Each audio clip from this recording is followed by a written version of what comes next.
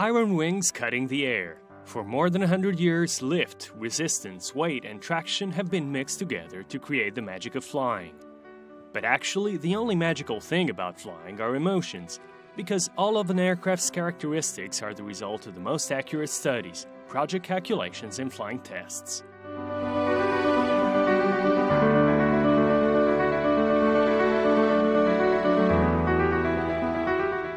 In the course of this research, there is one element that is essential to verify the results of engineers' calculations and to understand how close they are to reality the wind tunnel. In this tunnel, air flows on the surface of a scale model of the aircraft. Leonardo's aircraft division has two such tunnels, one at Venegono in Lombardy and the other near Turin. Roberto Pertile is the supervisor at the Venegono tunnel. Ci troviamo nella sala controllo della Galleria del Vento di Leonardo. We're in Leonardo's wind tunnel at Venegono.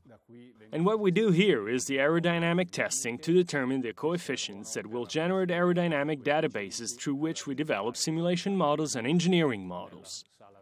What you see behind me is a 1 to 9 scale model of an M345. It's a classic installation that allows to do polars, that is, variations of aerodynamic coefficients in order to adjust them to the changing incidence and yaw. Basically, what happens here is that a scale model of the aircraft has to go through an airflow blowing at up to 250 kilometers per hour. Special sensors gather all the data relative to the forces and momentums involved in the so-called polars. Il test consiste in una variazione di incidenza continua. The test consists of a continuous incidence variation with a constant yaw.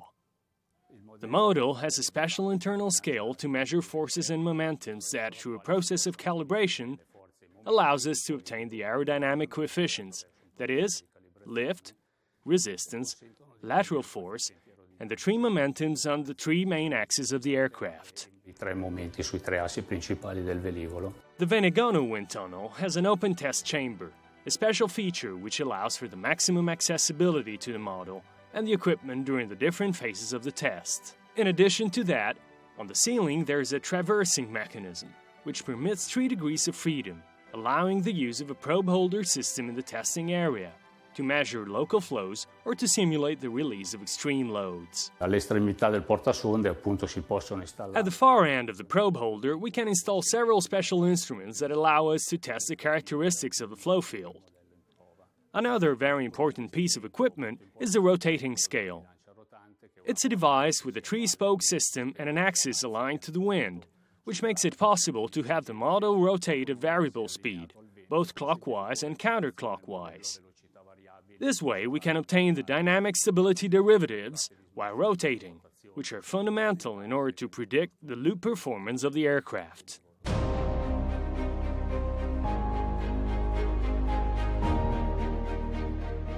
Unlike the Venegono one, Turin's wind tunnel has a closed test chamber. Thanks to the walls delimiting its air circuit, this wind tunnel is particularly useful in order to test semi models. Riccardo Gemma is the supervisor. Qui alle mie spalle c'è la console di comando della Galleria del Vento dove tramite questi Behind me, you can see the control panel of the wind tunnel.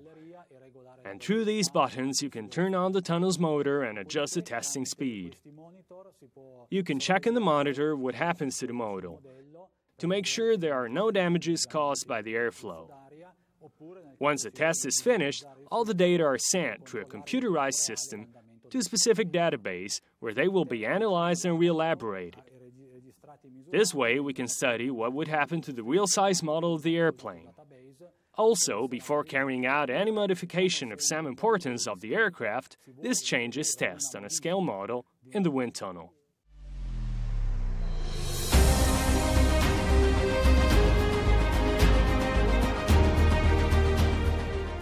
From wind tunnels, through a long series of tests, we get to the real aircraft. Leonardo's test pilots make sure that all modifications are in line with the engineer's anticipations.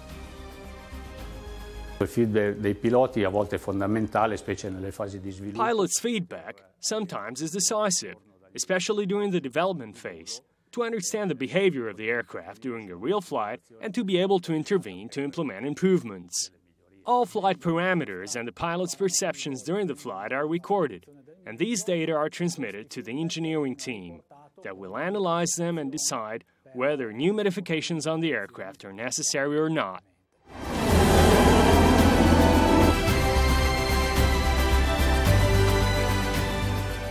The Eurofighter Typhoon, the C-27 tactical transport aircraft, the ATR-72, the M346, as well as the new M345, the remote control aircrafts, are all examples of Leonardo's worldwide made in Italy aeronautical excellence. Every aircraft before crossing the skies was just an idea, then a project and a scale model.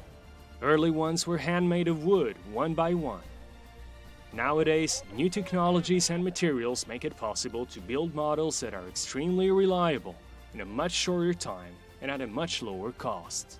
In Venegono, there is even a small museum where one can see all the models that have been used up to the present day. Eh. In the past, scale models were generally made of metal, light alloy, and true numeric control. But now things have changed thanks to rapid prototyping printers, 3D printers. We have a dedicated device for the purpose, allowing us to build a great number of components in a relatively short time, even very complex shapes, which would be very hard to manufacture in the traditional way. Behind me, you can see an example relative to the M346 aircraft. It's a 1 to 10 scale model, with a considerable number of components and entirely lined. Its aerodynamic parts are made with 3D printing. Questa Eh, Measurement instruments have also seen a tremendous technological development. From the systems that used to measure forces on the aircraft through weights and counterweights, similar to a pharmacy scale, calibrating by hand the force of the air on the various parts of the aircraft, to the new systems based on strain gauging that allows us to obtain a huge number of measurements in a very short time and to store them immediately in an electronic format.